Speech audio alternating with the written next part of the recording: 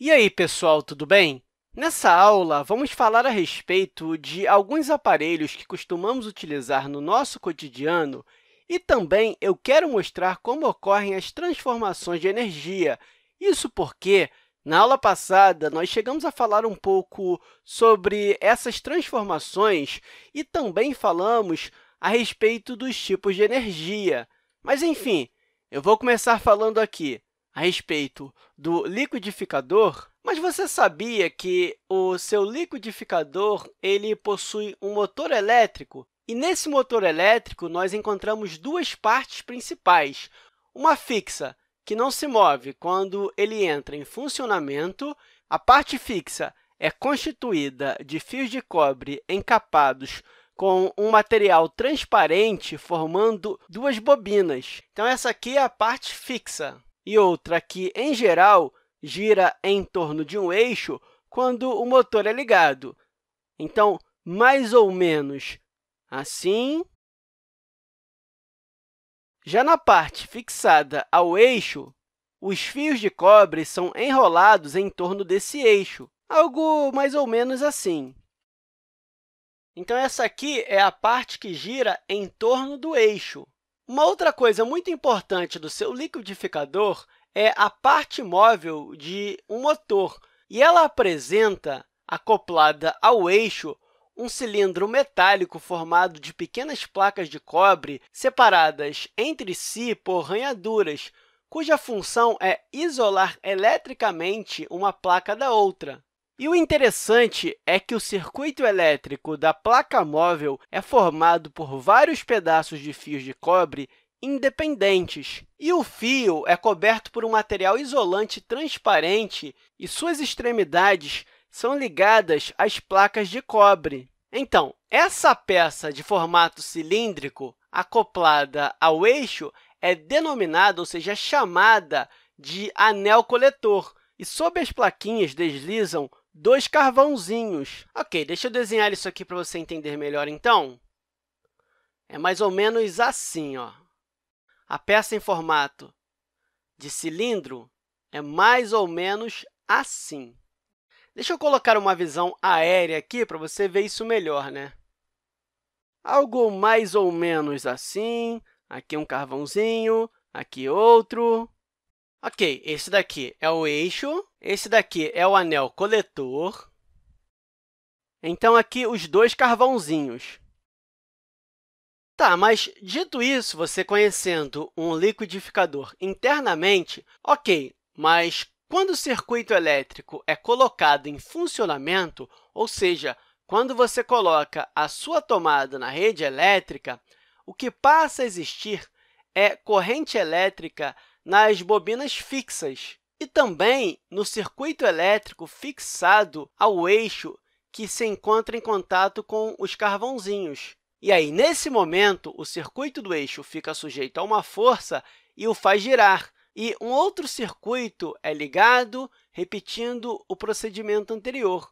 E o resultado disso é o giro completo do eixo, característico dos motores elétricos. Mas eu quero que você perceba aqui é que os motores eles têm a função de produzir movimento. E o que nós estamos fazendo aqui é uma transformação de energia elétrica para energia mecânica. Lembra que eu disse na aula passada que a energia não se perde? Então, nós apenas estamos trabalhando com o processo de conversão de energia em um aparelho de liquidificador. Um outro aparelho que também faz essa conversão de energia, não necessariamente energia elétrica e energia mecânica, é o chuveiro elétrico. Você já se perguntou como que a sua água esquenta e fica aquele banho tão quentinho? E esse tipo de aparelho ele está em um grupo chamado de aparelho resistivo, ou seja, cuja função é produzir aquecimento. E a maioria dos chuveiros elétricos funcionam sobre a tensão elétrica de 220 volts. Claro, a maioria, não significa todos, e eles possuem duas possibilidades, inverno e verão, e cada uma delas está associada a uma potência. Ok, deixa eu colocar isso aqui, vamos entender como funciona isso de fato. Deixa eu desenhar um chuveiro mais ou menos aqui, e aí eu explico para você o que acontece. Então, mais ou menos assim, o meu desenho, aqui o chuveiro, aqui os pontos de contato, aqui o diafragma, eu já vou explicar cada um desses detalhes. Então, a água entra na caixa do chuveiro com muita pressão e a água que sai está em uma vazão menor. E aí, o que acontece é que parte dela se acumula dentro do chuveiro. E aí, a água acumulada empurra o diafragma, que é a peça que serve de apoio para alguns pontos de contato elétrico. Então, esse daqui é o diafragma. E o que acontece com isso é que esse diafragma sobe e aí os pontos de contato se tocam. Então, aqui eu tenho um ponto de contato e em cima eu também tenho outro ponto de contato. Então, quando esses pontos se tocam, eles conectam à rede de energia. E, com isso, a corrente elétrica é acionada. E aí, a corrente elétrica começa a percorrer a resistência, que eu vou colocar aqui elemento de aquecimento.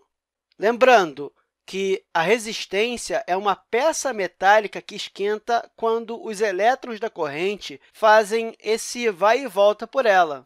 Então, toda vez que você tiver movimento de elétrons por essa resistência, ela vai esquentar. E aí, o que acontece é que essa resistência superaquecida faz com que a água fria, que também se acumula no chuveiro, esquente. E você percebeu o tipo de transformação de energia que nós fizemos aqui? Ou seja, nós fizemos a conversão de energia elétrica em energia térmica. Novamente, a energia não se perdeu, ela se transformou. Agora, algumas coisas interessantes é que, na ligação verão, usa-se um pedaço maior desse mesmo fio, ou seja, do resistor, enquanto na ligação inverno, usa-se um pequeno trecho do fio é mais ou menos assim. Aqui o verão e aqui o inverno. Deixa eu fazer um resumo disso aqui para você entender, então.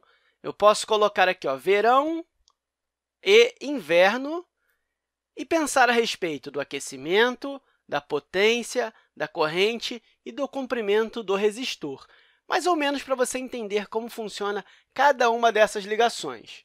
Ok, o aquecimento no verão é menor, enquanto no inverno, é maior. Você precisa aquecer mais, né? Já que nós estamos aquecendo menos no verão, então a potência é menor, já no inverno é maior. E aí nós precisamos de menos corrente, ou seja, a corrente é menor no verão e é maior no inverno.